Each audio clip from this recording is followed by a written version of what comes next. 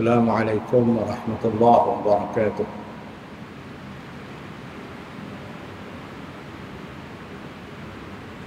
الحمد لله رب العالمين والصلاة والسلام على أشرف المرسلين وعلى آله وأصحابه أجمعين.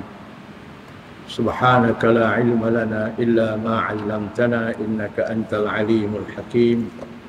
رب اشرح لي صدري ويسر لي أمري واحلل عقدة من لساني يفقه قولي وما توفيقي إلا بالله. عليه توكلت وهو رب العرش العظيم.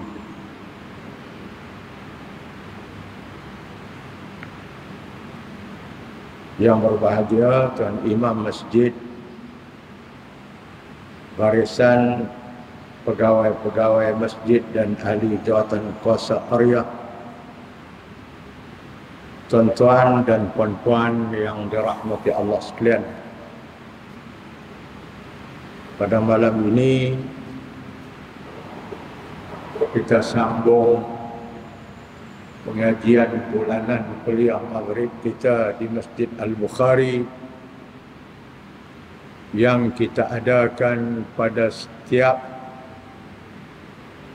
malam Khamis minggu yang kedua.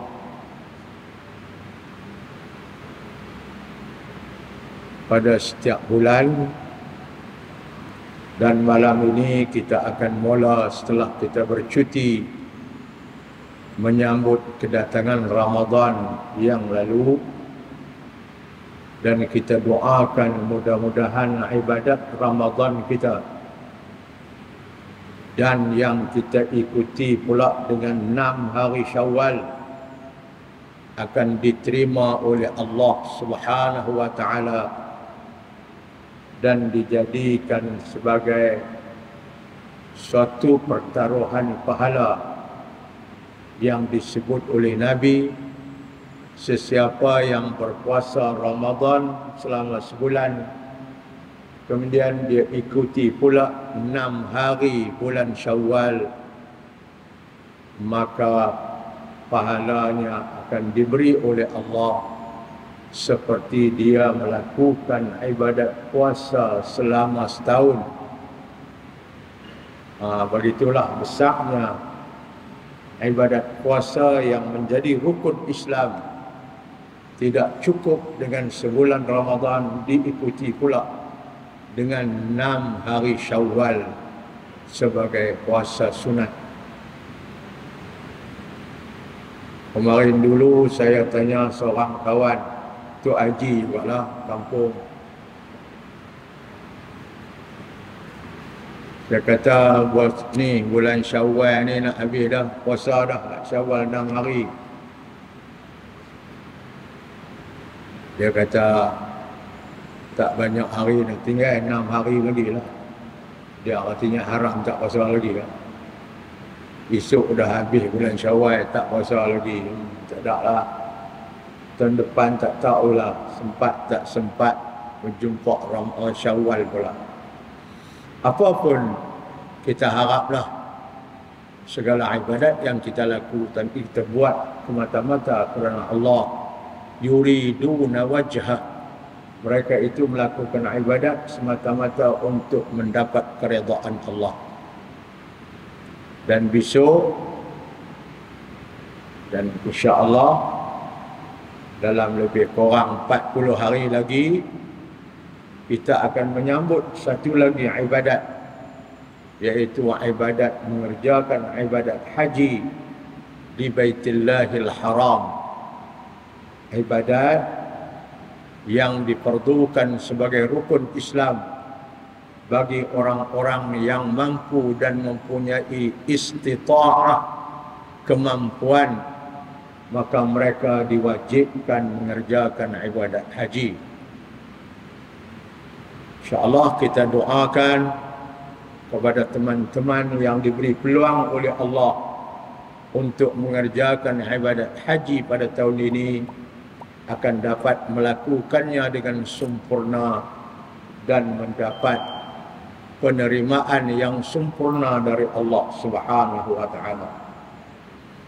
Manakala kita yang tidak berpeluang lagi untuk mengerjakan ibadat haji, kita juga diberi peluang untuk mengerjakan ibadat korban pada empat hari dalam setahun juga raya pertama, kedua, ketiga dan keempat. Kita nak pergi buat kerja haji dah tidak ada peluang maka kita berpeluang untuk mengerjakan ibadat korban di mana Nabi sallallahu alaihi wasallam bersabda tidak ada satu ibadat yang paling Allah suka dilakukan oleh hamba Allah pada raya haji ini lebih daripada ibadat menumpah darah korban binatang korban jadi saya menyerulah kepada tuan-tuan dan diri saya peluang selama setahun empat hari ini. Ada lebih kurang 40 hari lagi kita jangan lepas peluang ini. Bersedialah untuk kita mengerjakan ibadat kurban.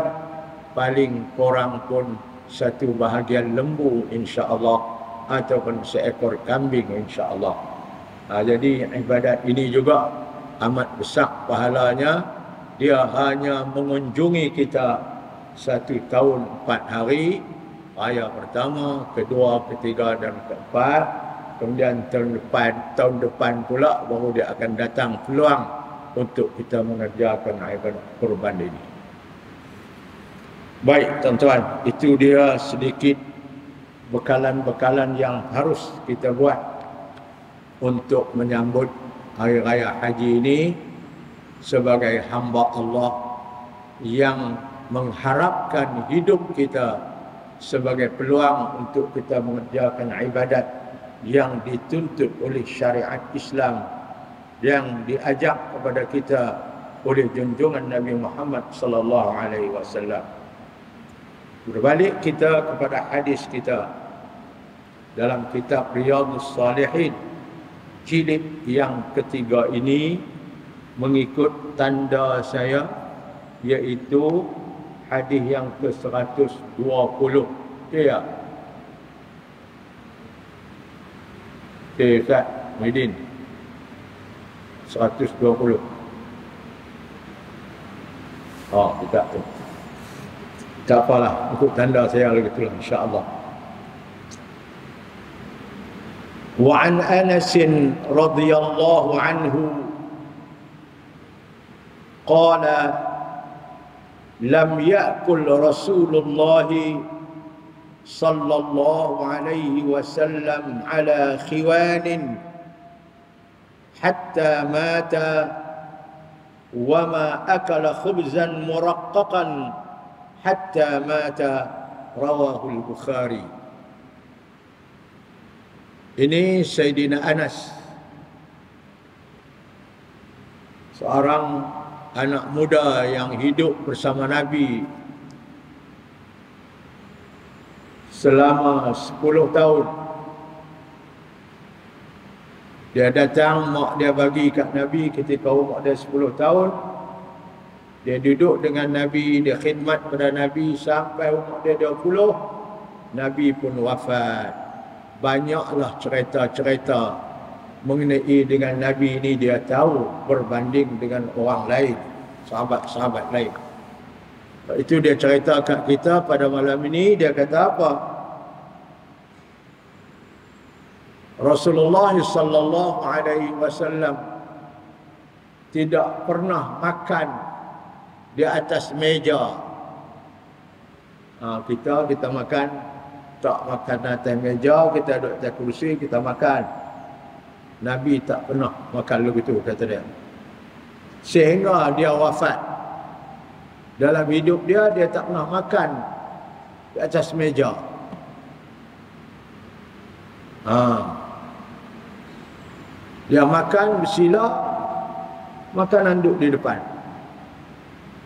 Bukanlah makan dengan meja tu haram. Tetapi Nabi dia ambil pendekatan makan tidak bermewah-mewah.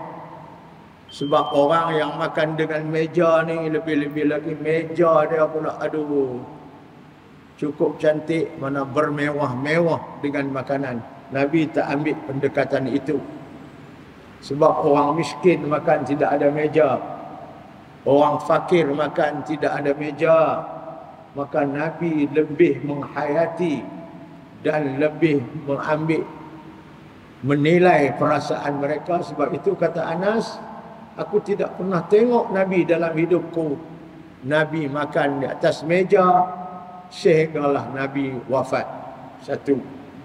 Yang kedua Nabi juga dalam hidup dia tak pernah makan khubzan muraqqaqan makan roti yang lembut-lembut tak. Dia makan roti yang dibuat dengan tepung yang keras-keras saja. Tak ada yang lembut-lembut. Macam capati kita tu. Nabi tak tak makan tu. Sebab makan lebih tu, tu makan orang senang. Makan orang mewah. Tapi katanya Nabi tak makan lebih tu. Sehinggalah dia mati.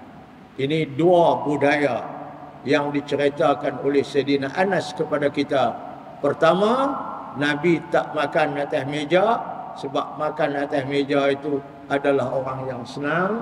Nabi lebih menghayati dan menjaga perasaan orang miskin, orang susah.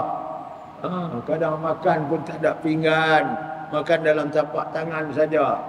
Yang kedua, Nabi tak makan roti yang lembut-lembut, makan roti biasa yang keras-keras yang dimakan oleh orang-orang susah. Ha, ini menandakan bahawa zuhudnya Nabi. Nabi tidak mementingkan hidup ini untuk nak makan hebat-hebat. Nabi tidak mementingkan hidup ini untuk nak makan sedap-sedap. Tetapi Nabi mementingkan hidup ini untuk beribadat kepada Allah. Bukan untuk melayani hawa nafsu. Inilah kezuhudan Nabi SAW yang diceritakan oleh Sayyidina Anas kepada kita. Ha, tapi benar ni makan roti lembut bukanlah haram tak haram. Nah tapi dia cerita tentang nabi. Ha, nabi tak sanggup nak makan roti lembut sedangkan orang miskin makan roti keras nabi tak sanggup nak makan atas meja hebat-hebat sedangkan orang miskin makan tak ada meja ha, nabi menjaga perasaan mereka inilah dia kata Muhammad itu rahmatan lil alamin rahmat pada sekalian alam. Tak macam kita lah, kita duk ra'i orang hebat-hebat. Orang susah-susah kita tak ra'i.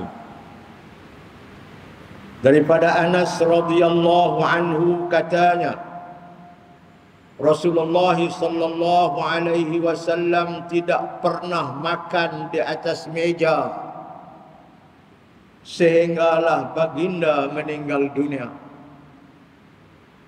Sampai Nabi mati tak makan atas meja. Nah. Dan baginda tidak pernah makan roti lembut-lembut dan halus-halus. Tepung elok-elok tu, tepung lembut-lembut halus-halus. Sehinggalah baginda meninggal dunia. Ha, Nabi hidup dia seperti orang yang miskin dan susah. Itulah perasaan Nabi sallallahu alaihi wasallam. Dalam satu riwayat menyebut bahawa baginda tidak pernah melihat langsung dengan matanya apa dia? Sumait apa nabi tak pernah tengok sumait sumait ni apa dia? Kambing yang dibakar dengan kulitnya setelah dibuang bulunya. Nabi tak pernah tengok langsung. Kata jangan kata nak makan. Tengok pun tak kena apa dia? Kambing yang disalai ataupun yang dibakar dengan kulit-kulit dia uh, ini makanan orang-orang yang senang orang-orang yang kaya. Ah uh, bagaimana tuan-tuan? Walau bagaimanapun bukanlah nak habaq benda ni benar haram. Tak boleh. Tak haram makanlah tapi nabi jaga perasaan orang susah. Sebagai Rasul sallallahu alaihi wasallam. Islam menyuruh umatnya supaya membanyakkan amal ibadat dan jangan terlalu mementingkan hal keduniaan yang boleh melalaikannya dari mengingati Allah.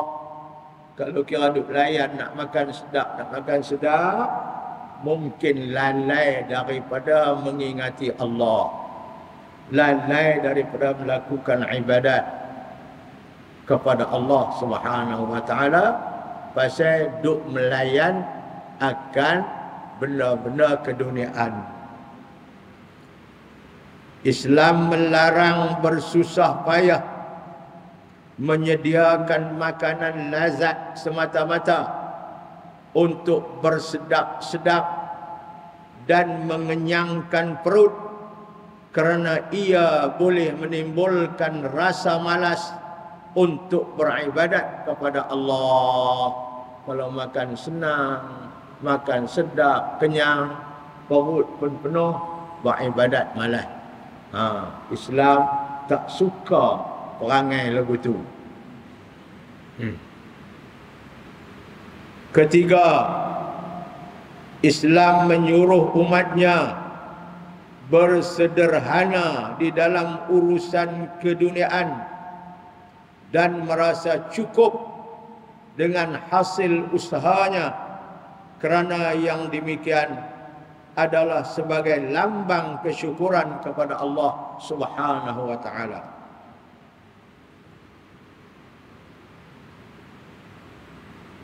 Rasulullah sallallahu alaihi wasallam telah menunjukkan contoh tauladan yang terbaik dalam berzuhud. Zuhud ni makna tak pentingkan kemewahan dunia. Zuhud. Dalam berzuhud, nah ni dalam dalam keadaan tidak mementingkan akan kesedapan dunia. Ha, Nabi contoh tauladan yang terbaik dalam berzuhud dan berpaling dari kemewahan dunia supaya tanda simpati. Nabi buat tu kerana tanda simpati kepada fakir miskin dan menyenangkan hati mereka. Kalau Nabi duk makan hebat saja mereka susah miskin ha, itu tak mau. Nabi buat ini untuk nak bagi nak jaga perasaan simpati dengan mereka yang susah. Walaupun kemewahan itu tidak dilarang oleh umat oleh ke, uh, tidak dilarang kepada umat Islam. Ia dalam batas-batas yang diharuskan boleh mewah tak dilarang tetapi dalam banyak keadaan kemewahan mendorong kepada maksiat. Ha, kerana nak mewah punya pasal manusia sanggup buat dosa. Kerana nak mewah punya pasal manusia sanggup tipu daya, bohong-bohong dan sebagainya demi untuk kemewahan dunia. Sebab itu kemewahan dunia katanya kebanyakannya mendorong kita buat dosa. Baik, itu satu hadis riwayat Sayyidina Anas bin Malik rahimahullah menceritakan tentang Nabi sallallahu alaihi wasallam tak pernah makan atas meja dengan meja bukan makan atas meja duduk atas meja tak makan dengan meja dan Nabi sallallahu alaihi wasallam tidak pernah makan roti yang lembut-lembut. Karena simpati dengan orang susah dan fakir dari kalangan umatnya. Hadis yang kedua malam ni 121 wa 'anil Nu'man ibn Nu'man ibn Bashir Salah tu kalau ada yang kita ibni bukan ibna. Wa anin Nu'mana ibni Bashir. Wa anin Nu'man ibni Bashirin radhiyallahu anhuma. Banyak baris-baris dalam kitab ni yang salah. Saya tak tahulah. Adakah tidak disemak atau sebagainya kadang-kadang terjemahan pun salah baris pun salah di sini ibni bukan ibna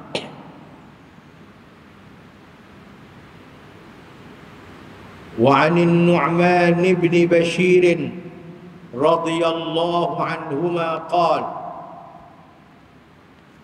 لقد رأيت نبيكم وما يجد minad daqli ma yamlu bihi batnahu.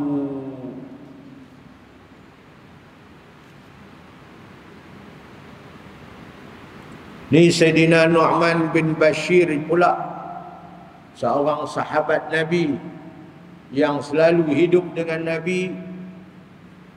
Dia berkata dia tak pernah tengok Nabi sallallahu alaihi wasallam. Itu Nabi kau dan Nabi kamu. Ada mempunyai makanan-makanan buah kurma dari yang jenis dakli dakli ini makna buah kurma yang yang murah ha pun dia kata jarang aku tengok Nabi mempunyai buah kurma buah kurma yang murah. Apatah lagi yang mahal. Yang murah pun jarang tengok. Nabi makan buah kurma biasa saja. Semacam mana orang susah makan. Macam mana orang miskin makan. Sehingga buah kurma yang harga murah tapi mungkin baik juga. Dinamanya dakli. Aku tak pernah tengok. Nabi mempunyai buah kurma itu. Ha, ini Sayyidina Nu'man bin Bashir dan Nabi tidak pernah memenuhkan perut dia dengan buah kurma dakli ini. Kerana Nabi meraihkan simpati kepada perasaan orang yang susah. Kalau orang susah tak boleh makan ad-dakli, pasal apa aku nak makan ad-dakli? Kalau orang miskin tak boleh makan ad-dakli, Pasal apa aku nak makan ad-daqli? Sebab itu Nu'man bin Bashir kata, aku tidak pernah Nabi mempunyai buah kurma jenis ad-daqli dan tidak, Nabi tidak pernah isikan perutnya dengan buah kurma ini. Ha, ini juga lebih kurang yang Sayyidina Anas sebut tadi. Daripada Nu'man bin Bashir radhiyallahu anhu katanya, sesungguhnya aku pernah melihat Nabi kamu sallallahu alaihi wasallam aku pernah lihat Nabi itu tidak memperolehi memperoleh walaupun buah kurma yang jenis rendah untuk memenuhi perutnya hak jenis murah pun Aku tak pernah tengok Nabi mempunyai buah kurma itu. Malah Nabi makan buah kurma biasa saja yang dimakan oleh orang susah dan yang dimakan oleh orang-orang miskin.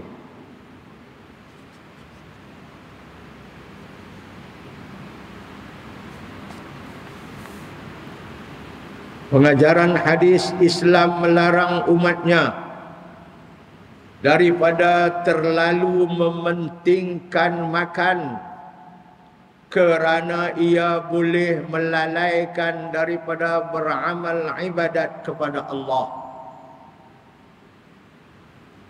Umat Islam hendaklah membiasakan dirinya berlapar. Dengan demikian akan menambahkan lagi kesedaran serta keinsafan untuk beribadat kepada Allah. Hmm, berlapang. Sebab itu kita disunatkan berpuasa paling kurangnya seminggu dua hari ataupun sebulan tiga hari nak berlapar.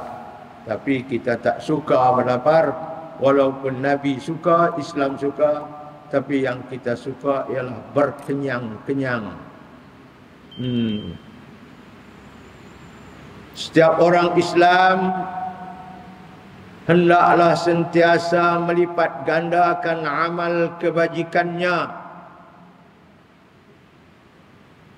untuk dijadikan bekalan di akhirat kelak. Kadang-kadang Rasulullah sallallahu alaihi wasallam tidak mendapati makanan yang mencukupi walaupun dari jenis yang tidak baik. Jenis murah-murah pun tak ada.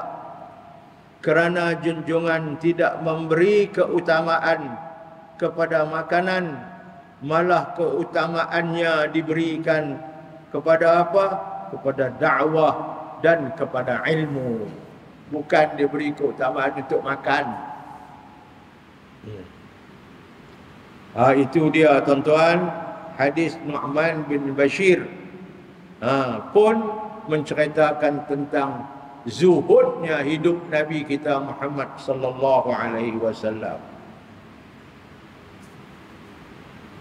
Baik itu Sayyidina Aisyah mencerita selalunya Nabi sallallahu alaihi wasallam balik daripada masjid pas subuh tanya Aisyah kita nak makan apa pagi ini? Aisyah kata ya Rasulullah tidak ada makanan kita pagi ini. Kalau tak ada makanan hari ini izan kalau begitu kata Nabi, fana sumu mai kita puasa. Nabi pun niatlah puasa sunat pada hari itu sebab pagi itu tak ada makan. Tuan-tuan pernah pagi-pagi tak ada makan. Berkenyah tuan-tuan, oh yang rumah kita. Hak semalam pun makan tak habis. Pergi beli nasi lemak pula pagi ini. Ha. Tak sama lah nah dengan hidup Nabi sallallahu alaihi wasallam. Baik. Hadis yang ketiga. Wa an Sahl bin Sa'd radhiyallahu anhu qala ما راى رسول الله صلى الله عليه وسلم النقي من حين ابتعثه الله تعالى حتى قبضه الله تعالى. فقيل له هل كان لكم في عهد رسول الله صلى الله عليه وسلم مناخل؟ قال ما رأى رسول الله صلى الله عليه وسلم. آه munkhulan baris salah tu. Dalam kitab tu munkhalan bukan kha lah khu.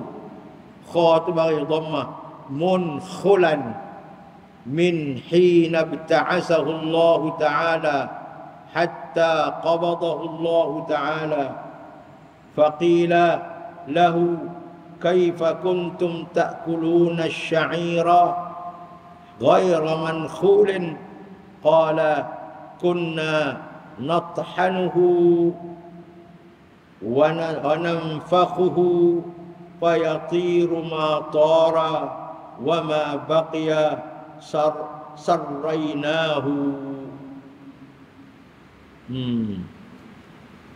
ini Sahal bin Sa'din pula sahabat Nabi juga sallallahu alaihi wasallam cerita hidup mereka di zaman Nabi bersama Nabi. Dia cerita apa? Dia kata Rasulullah dalam hidup dia tak pernah tengok roti yang bersih daripada uh, yang suci daripada hampas-hampas dia. Ha, buat roti dengan kulit-kulit gandum, syair. Ha, buat sekali. Tak pernah aku tengok zaman Nabi dia kata roti yang bersih daripada kulit-kulit dia tu. Ha.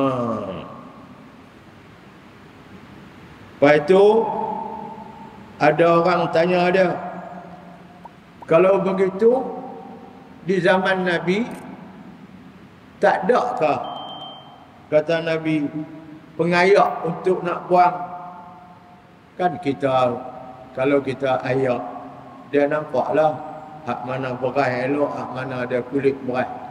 Zaman kamu zaman Nabi dulu tak ada pengayak kah dia tanya. Sampai zaman Nabi itu roti hak bersih daripada hampas-hampas dia tu tak ada. Awak zaman Nabi tak ada manakhil kah tak ada pengayak kah? Ada orang tanya.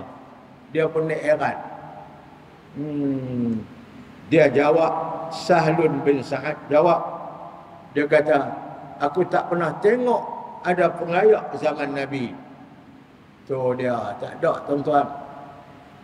Kan kita orang tua-tua dulu kalau tumbuk tepung ke tumbuk apa dia ayak dulu dia nak buang ampas dengan padi. Tapi zaman Nabi tak ada pengayak tu. Lepas tu kawan tu tanya lagi habis? Kamu kisah-kisah tepung buat. Lagu mana? Dah pengayak. Tak ada.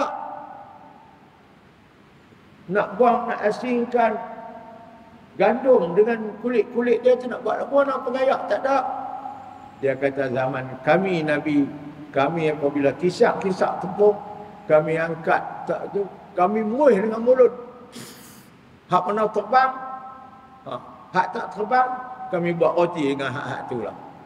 Pengayak tak ada ha, kami muih saja dengan mulut saja dengan angin saja untuk menerbangkan kulit-kulit gandum tu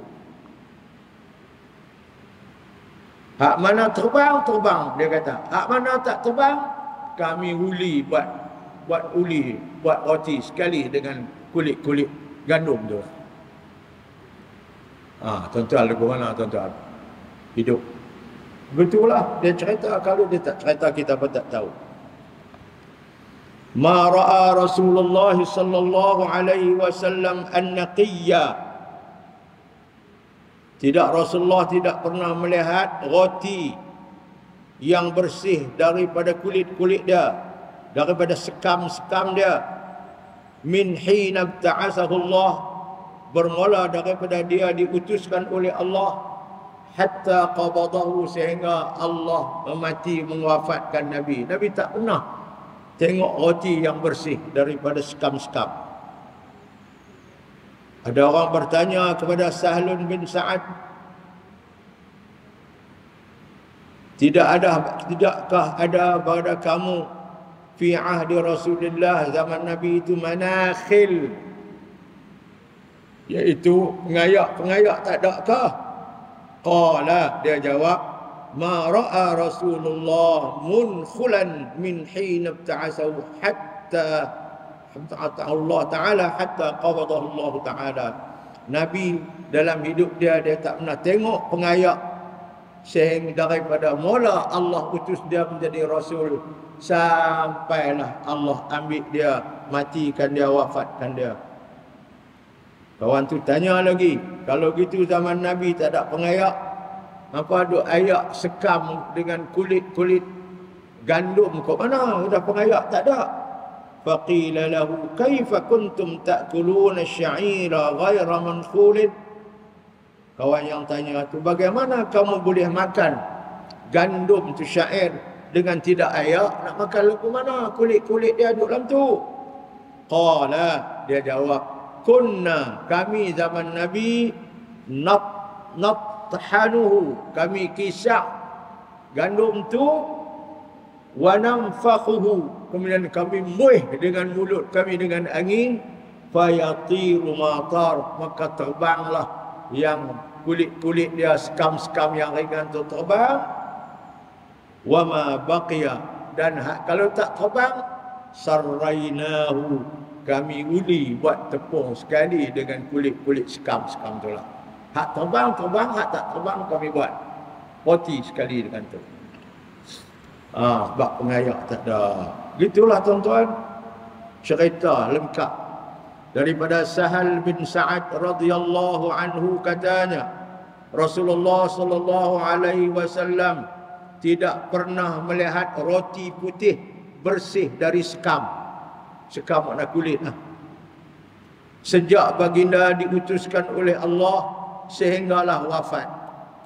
Lalu ditanya kepada Sahlun, adakah kamu pada zaman Rasulullah memiliki alat pengayak-pengayak?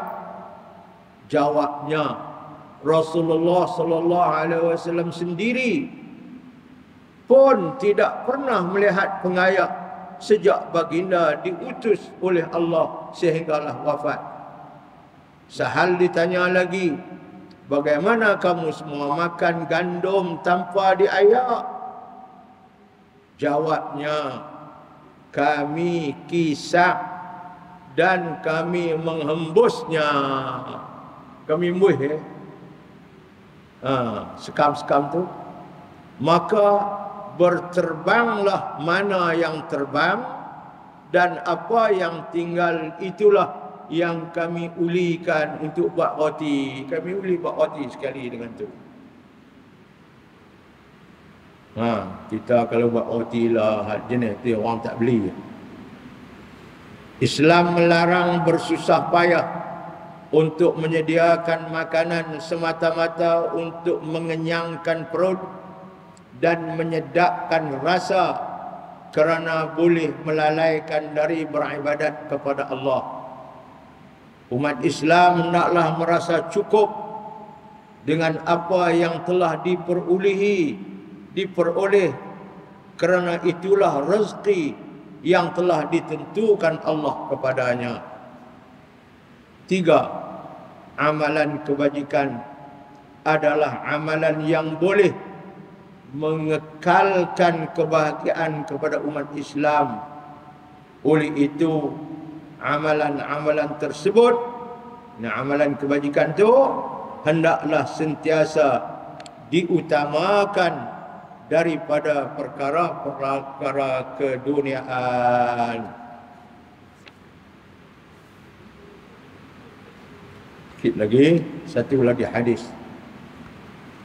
Wa an abi hurairah radhiyallahu anhu qala خرج رسول الله صلى الله عليه وسلم ذات يوم أو ليلة.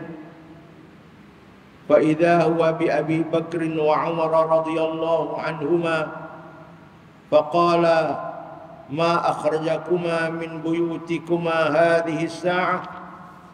قال الجوع يا رسول الله. قال وأنا والذي نفسي بيده. لأخرجني لأخرجني الذي أخرجكما. قوموا فقاموا معه فأتى رجلا من الأنصار فإذا هو ليس في بيته. فلما رأته المرأة قالت مرحبا وأهلا. فقال لها رسول الله أين فلان؟ قالت ذهب يستعذب لنا من الماء. إذ جاء الأنصاري فنظر إلى رسول الله وصاحبيه ثم قال الحمد لله ما أحد اليوم أكرم أضيافا مني. قال فانطلق فجاءهم بعذق فيه بسر وتمر ورطب. فقال كلوا وأخذ المدية. فقال له رسول الله إياك والحلوب. فذبح لهم فأكلوا من الشاة ومن ذلك العذق وشربوا. فلما شبعوا وروا قال رسول الله لأبي بكر وعمر رضي الله عنهما والذي نفسي بيده لتسألن عن هذا النعيم يوم القيامة أخرجكم من بيوتكم الجوع ثم لم يرجعوا حتى أصابكم هذا النعيم رواه مسلم Ini satu cerita yang dibawa oleh Abu Hurairah. Ceritanya Sayyidina Abu Bakar dengan Sayyidina Umar keluar satu hari pergi duduk depan rumah Nabi. Ada kata siang, ada kata malam. Kira lah. Jadi dia keluar-keluar. Ha. Kemudian mereka duduk. Nabi pun keluar rumah tengok-tengok Abu Bakar dengan Umar duduk ada depan rumah dia. Nabi tanya Abu Bakar Umar, kamu kejuak ni nak pergi mana? Abu Bakar dengan Umar kata, Ya Rasulullah, kami keluar ni kerana kami lapar, tak ada benda nak makan. Demi rumah Nabi lah tu ada makan. Allah, tuan-tuan, kita tak penuh lagu tu, tuan-tuan. Kita tak penuh lapar. Lepas tu Nabi kata, demi Allah wahai Abu Bakar Umar, aku keluar ni pun kerana aku lapar juga. Ha, bukan hampa saja. Aku keluar ni bukan aku lapar juga. Lepas tu Nabi kata, jom kita pergi rumah kawan kita senang sikit tu, orang Ansar tu, jom kita pergi. Tengok kut-kut ada makan di rumah dia.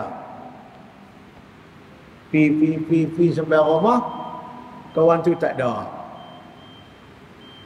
Bini dia keluar dari rumah tengok. Bini dia kata, Ahlan wa marhaban. Dia kata, selamat datanglah ya Rasulullah.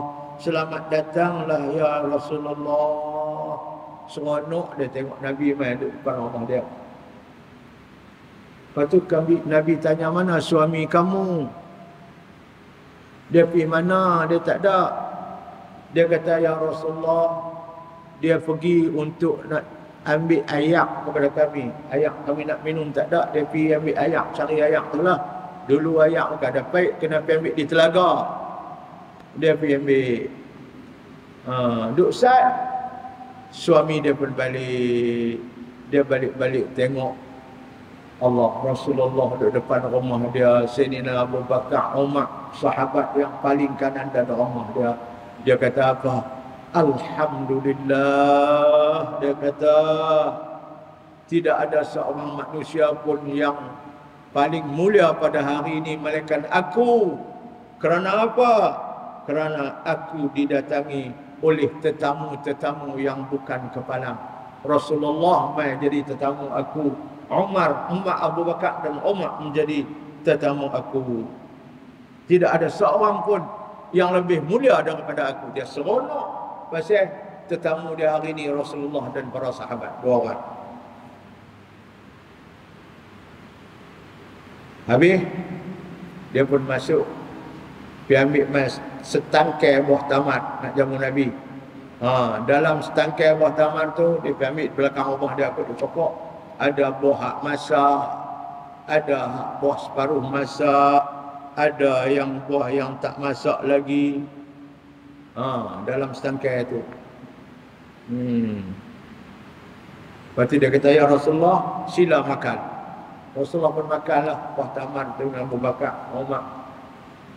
Kemudian dia ambil pisau dia. Dia nak pergi sembelih kambing, nak jamu kambing ngelak kat Nabi. Allah. Sahabat bahasa cukup.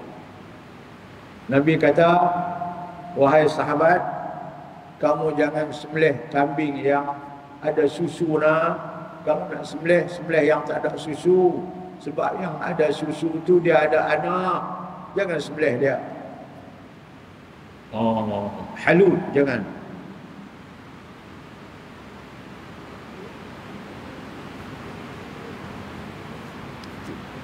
Pada sembelih apa semua dia pun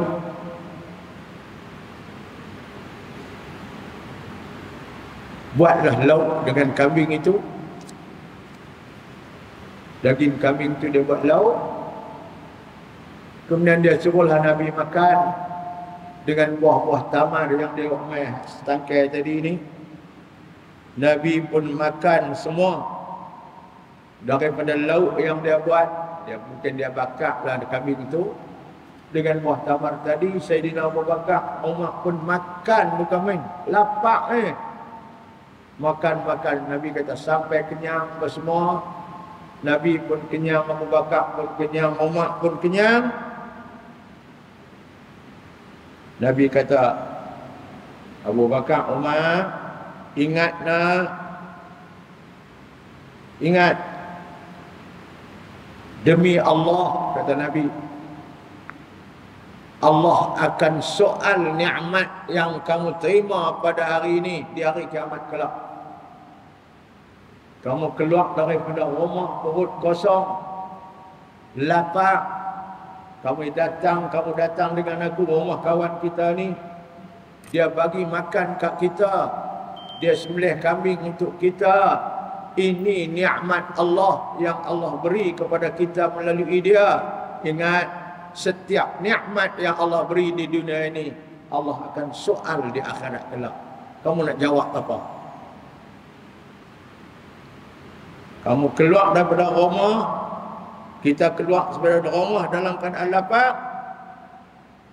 Kemudian kita balik daripada rumah kawan kita ini dengan kenyang. Jaga. Ini nikmat yang Allah akan tanya kamu semua di akhirat kelak. Ha. Nikmat yang Allah bagi, Allah akan tanya. Ha, jadi ini cerita dia. Pertama sekali kita dapat faham bahawa begitulah Rasulullah sallallahu alaihi wasallam.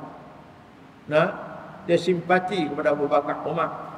Ha, dan begitu juga sahabat Nabi yang senang ni dia menyediakan makanan untuk Rasulullah dan orang-orang yang yang lapar maka pahalanya sangat besar di sisi Allah Subhanahu wa taala.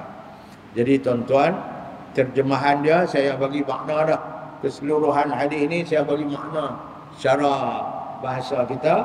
Abu Bakar dan Umar keluar pergi rumah Nabi akhirnya pergi rumah kawan ni akhirnya mereka boleh makan. Insya-Allah kita akan sambung pada kuliah akan datang. Maksud hadis dan terjemahan hadis ini kita tak baca lagi malam ni. Dan pengajarannya kita tak baca lagi malam ni kerana waktu Aisyah dah masuk kita sakat tu dulu. Kita fahamlah cerita ni bahawa Abu Bakar dengan Umar pergi ke rumah Nabi kerana lapar. Kemudian Nabi bawa mereka pergi ke rumah seorang orang Ansar.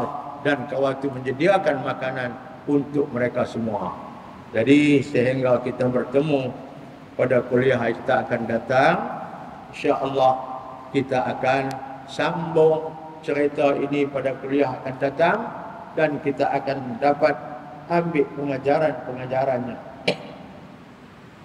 Kita tengok dalam cerita yang mereka ini bagaimana simpatinya Nabi dengan sahabat-sahabat dia. Ha, ha.